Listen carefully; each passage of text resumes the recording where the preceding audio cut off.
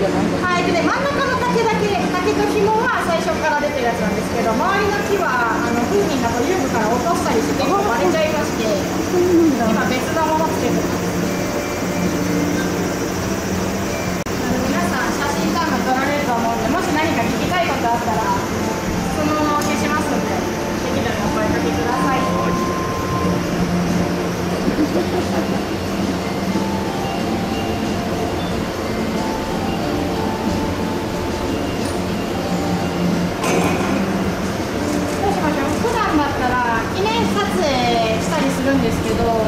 今回どうされますか？なんか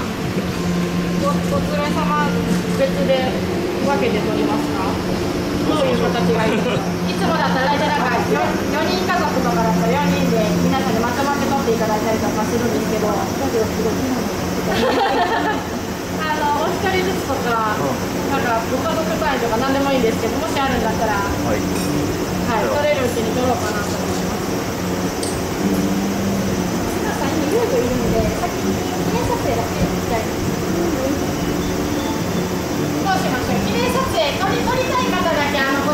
いただいたら順番に取りますんで。どうされます？あ、そうですね。お二人はら先にやりましょう。Thank you.